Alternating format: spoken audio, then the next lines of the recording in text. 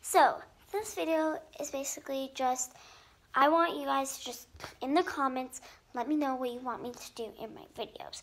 Whether that's more Minecraft or just other types of videos, like with Hazel or anything.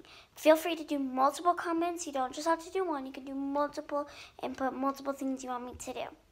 And that's all I have, really. I wasn't going to make this video really long, but yeah. Okay.